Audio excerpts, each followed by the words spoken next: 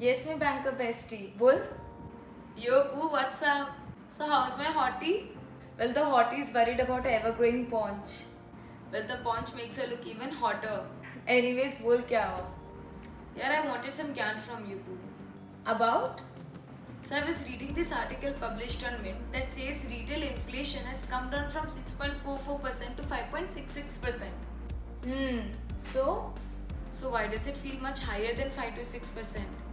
First, you tell me what is inflation? Well, it is a rate of price rise. Price rise of what?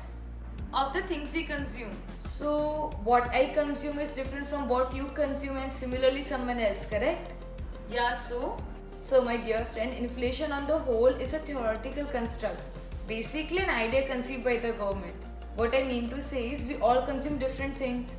So, we all have a different rate of inflation at a personal level, in a way. That's true.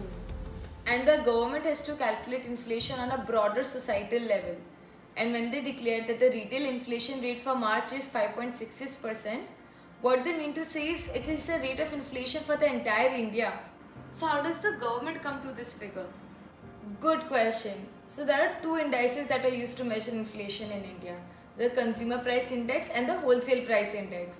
These two measure inflation on a monthly basis by taking into account different approaches to calculate the change in the price of goods and services.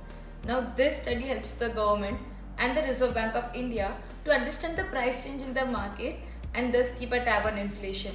समझी कि नहीं समझी थोड़ा बहुत Oh, I totally forgot I have an office meet to decide where and where the next meet will be. Huh? Never mind, I gotta go. Talk to you later. Investments in securities markets are subject to market risk. Read all the related documents carefully before investing.